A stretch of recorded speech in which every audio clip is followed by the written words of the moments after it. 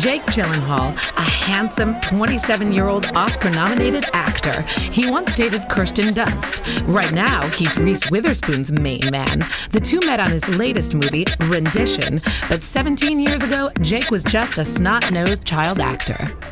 He helped me, like, to learn. This is my first movie to learn about acting, really. Aw, Jake is 10 here. He just shot City Slickers, and the whole movie making thing was just plain fun. But I hope I can do more movies like that. It was really.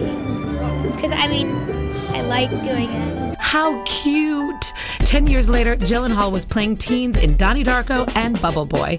He was still having fun and hoping to make some kind of impression. No group w- walks away from this movie not offended, or you know, it's an equally offending movie. You know, which for me personally, in terms of like depressurizing situations, is really important. After his teens, something happened. Jake turned 21. Now a man, he wanted to be taken seriously in Moonlight Mile. Every day you kind of you sit back and watch, and then you realize you have to play your part, and then every once in a while you get kind of lost in it, and then you get back in it, and you kind of slap yourself in the face and just keep going. During his mid 20s, Gyllenhaal wanted to take chances. This straight guy proved his acting rage by playing a gay cowboy in Brokeback Mountain.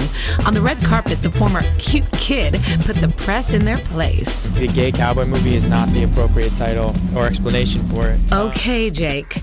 He earned an Oscar nomination for Brokeback Mountain. And finally, continuing to stretch himself as an actor, Gyllenhaal shaved most of his thick hair to play a Marine in Jarhead. Now, both the script and the director were concerns as to whether or not he would accept a role. have a director who appreciates who you are, who's not like making you into something else that you're not, is really awesome. It's like probably unlike any, any experience that I will ever have again. So there you go. It takes a while to become a glamorous movie star. Hope I can do more movies like that.